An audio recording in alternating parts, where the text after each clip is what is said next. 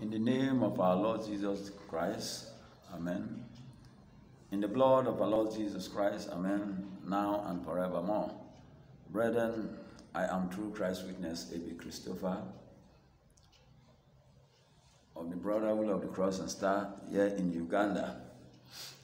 Today we are going to present a topic, those with problem, those with divert problems. Our Lord Jesus Christ gave an invitation, a clarion call to all to come unto him. That is the topic we have today. Our Lord Jesus Christ called all those that are heavy laden and heavy burden.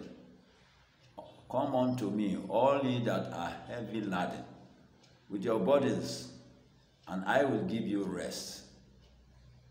And our topic is taken from the Gospel according to St. Matthew, chapter 11, verse 28. So today is a special day, especially for those with divert problems. Why not seek the face of God? Why not come to Him? Why not answer this clarion call? The call has been extended to all. Come unto me, all ye that labor and heavy laden, and I will give you rest. Now, the entire Christian world believe in our Lord Jesus Christ. Now, where did they go with their problems?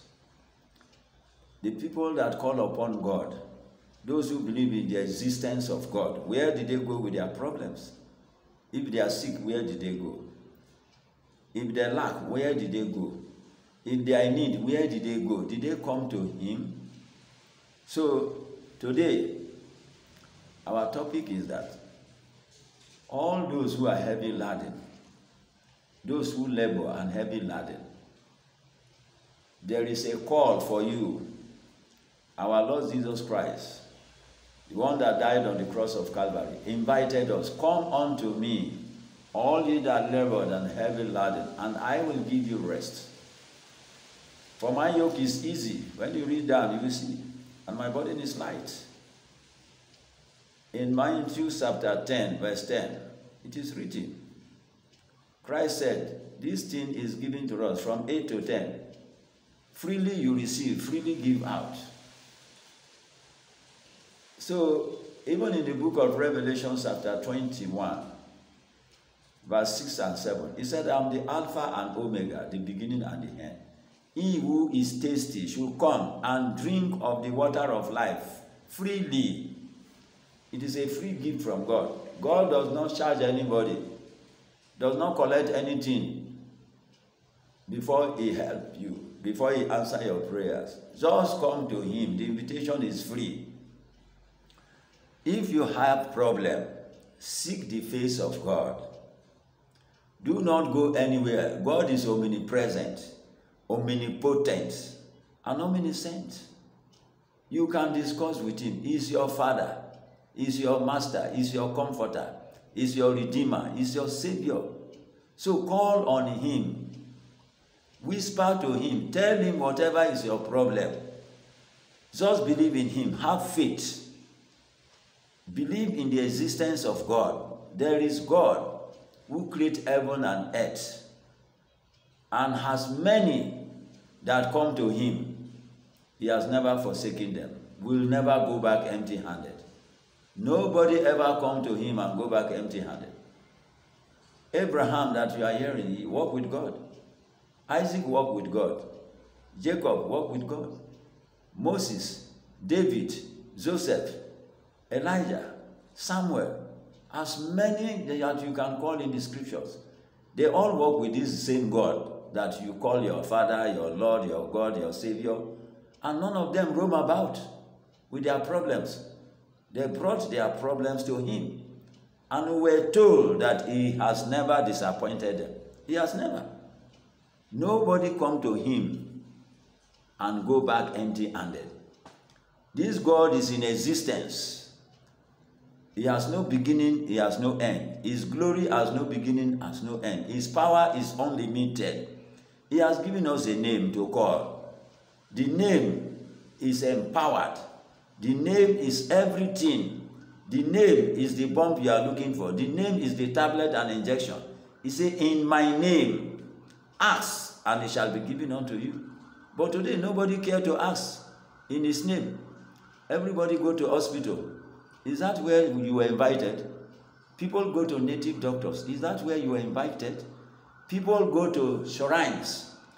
Is that where you were invited? I mean, we are talking to Christians, the Muslims, they are Christians, the Buddhas. People go and make shams for themselves. People make talisman, enter secret societies. Is that where you were invited? Come back home. Your father is still waiting for you. Our Father who art in heaven, hallowed be thy name, thy kingdom come. So come up with your problems to God. Don't go anywhere. Right inside your house, there is God.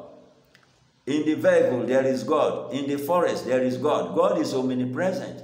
He's present everywhere.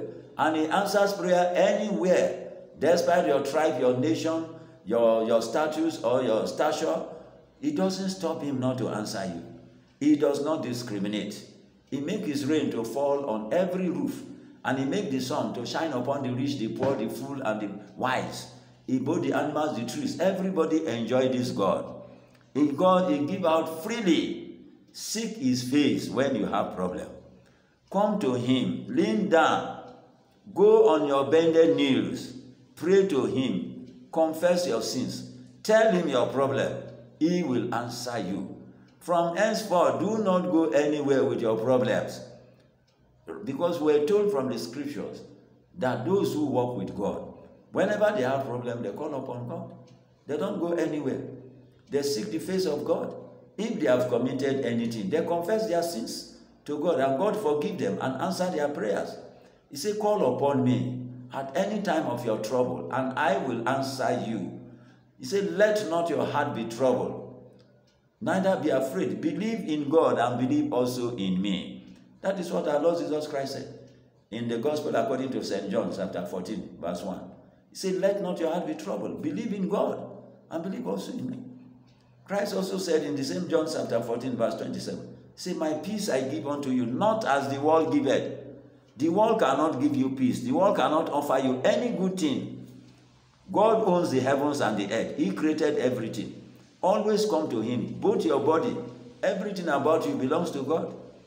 So there is necessity that whenever we have problem, we should come to God.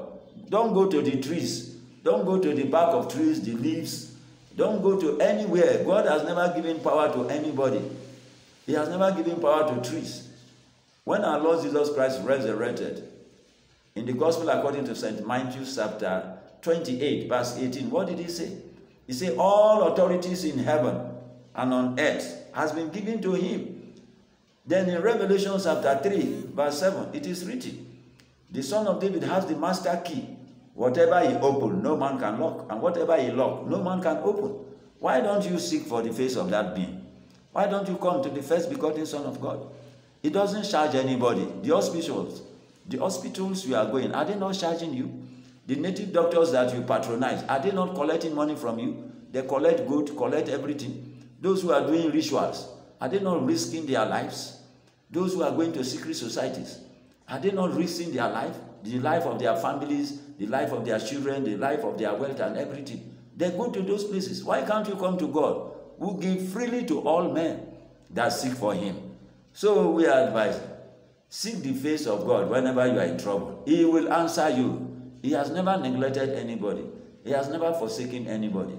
The entire world belongs to Him, all creatures belong to Him. In Him, there is no partiality. He doesn't know this is a rich man, this is a wise man, this is a fool, this is a madman, this is a poor man. This is the... Mostly those with problems, the downtrodden, the forsaken, those who don't have anybody around them, seek the face of God. This is not a matter of money. This is not a matter of wealth.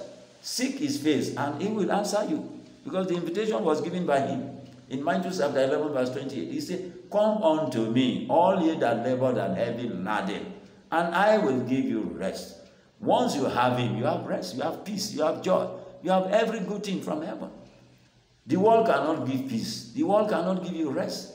Only God can give you all these things.